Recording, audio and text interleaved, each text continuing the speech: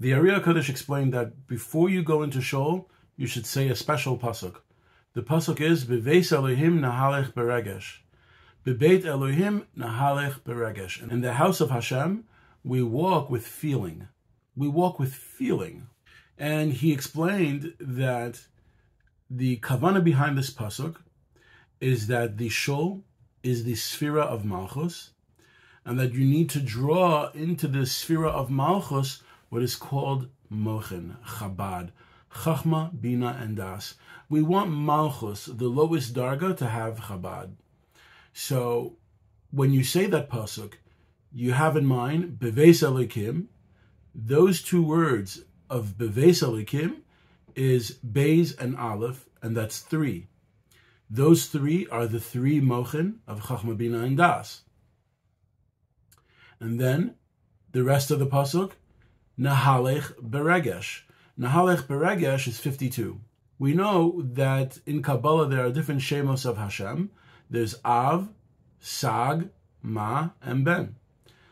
Each of these names of Hashem correspond to a different sphera, or as they say, a different parts of the name which belongs to the sphere of Malchus is the Shem of Ben, 52. So that's the kavana here in the pasuk, Nahalech Beregesh, walk with feeling. Nahalech Beregesh is Gematria 52. And what we have in mind again is that we're drawing Bebeit Elokim, Mochin, down to Nahalech Beregesh which is Shem Ben, which is 52. We're drawing Mochin down to Malchus. The Ari HaKadosh also explains that the words Beregesh at the end of the Pasuk are also very special.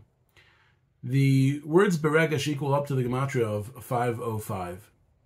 505 is the same Gematria of the first name of the seven names within the prayer Ana Bechoach within the tefillah of Ana B'choach. If we take a look at the tefillah Ana B'choach, you'll find that it's a prayer which is divided into seven names of Hashem. And these names are hinted in the Rashei Tevos of each of these verses. And there are seven full verses. The first verse corresponds to Chesed. And so when we come into Shul, right beforehand we say this pasuk, Beveit Elokim Nahalech Beregesh. We're drawing down Mochin. We're drawing down Mochin to the Darga of Malchus. But we also have in mind that this is through the chesed of Hashem, the chesed of Hashem, the kindness of Hashem, because the words beregesh tell us that we need to remember that we're coming to Shul to daven, we're coming to the Beit Knesset only mitzad Hashem's chesed. And this is why the words beregesh hint to the name of Hashem, which corresponds to chesed. And so we say, Bebeit Elokim Nahalech Beregesh. We draw down Mochin to the Darga of Malchus, which is Shem Ben, and we have in mind also that Hashem is imbuing us with His kindness to pray to Him and ask Him to bless us every single day. And once we do this, we've drawn down all this energy to the sphere of Malchus. Now, if Shem Ben is the level of Malchus, that's the Gematria of 52. Now, if we fill up all of Malchus, all of its 10 spheres are full with bracha, what happens? Each of its spheres are Shem Ben. Each of its 10 spheres are Shem Ben.